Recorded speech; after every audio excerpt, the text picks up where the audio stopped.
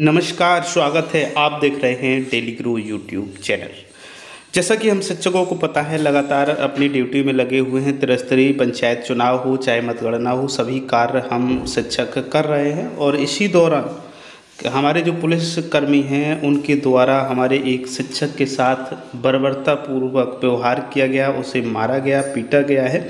तो उसी संबंध में हमारे जिला विशेष शिक्षा अधिकारी महोदय ने जिलाधिकारी महोदय को ये पत्र लिखा है। तो एक पत्र में क्या लिखा हुआ है, ये सभी जानकारी हम लोग देखने वाले हैं। शुरू करते हैं, इसे पढ़ते हैं।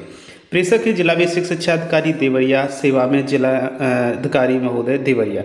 विषय है त्रिस्तरीय पंचायत सामान्य चुनाव निर्वाचन 2021 के अंतर्गत विकास खंड पत्थरदेवा में तैनात मतगणना कार्मिक श्री आशीष कुमार यादव, सहायक अध्यापक, प्राथमिक विद्यालय, ब्रह्मपाली विकास क्षेत्र, बनकटा जनपद देवरिया को पुलिस द्वारा बेरहमी से पीटकर घायल किए जाने के संबंध में बहुत ही बेरहमी से पीटा गया है। साफ़ साफ़ जिला विशेष शिक्षा अधिकारी ने इसमें लिखा हुआ है और क्या है, आगे किस प्रकार से ये जो लेटर है, पत्र है जिलाधिकारी महोदय के लिए बनाया गया है। तो इसमें लिखा हुआ है, कृपया उपर्युक्त विषय सादर अवगत कराना है त्रिस्तरीय पंचायत सामान्य निर्वाचन 2021 के अंतर्गत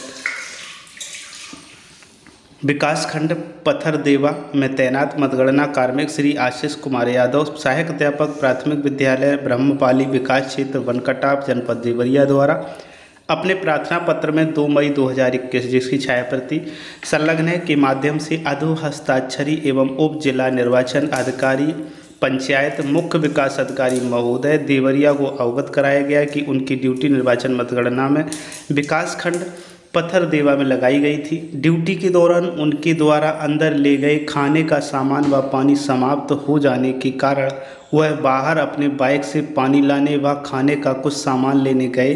और कुछ दवा भी खाना था। इसके बाद पीछे से पुलिस द्वारा लाठी से मारा गया, जब उनके द्वारा यह बताते हुए कि उनकी ड्यूटी मतगणना में लगी है, मारे जाने के संबंध में पूछा गया तो इस बात पर गुस्सा होकर तीन चार पुलिस कर्मियों द्वारा उन्हें बेरहमी से लाठी से पीटा गया, जिसके कारण उनके बाएँ हाथ पर की हड्डी, बाएँ हाथ की हड्डी टूटी है। एक्सरे रिपोर्ट के अनुसार पैर का लिंगामेंट खिसक गया है।